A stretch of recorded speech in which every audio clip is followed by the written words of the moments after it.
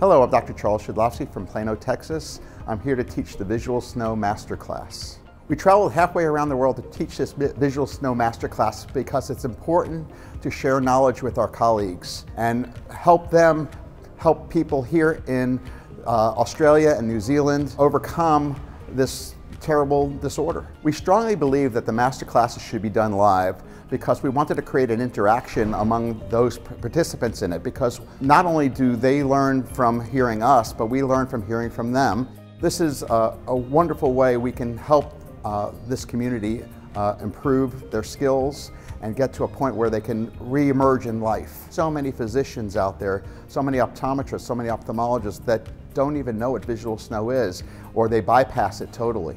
The Visual Snow Initiative is important because it, it gives us the opportunity to do new research. Uh, it gives us the opportunity to spread the word. It allows further education uh, to the community, uh, not only to people who may have visual snow, but to also the medical community. The past two days in Sydney have been extraordinary. The feedback we've gotten from the participants has been outstanding.